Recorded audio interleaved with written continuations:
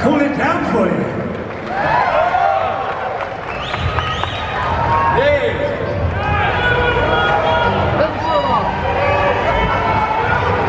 I can't saying.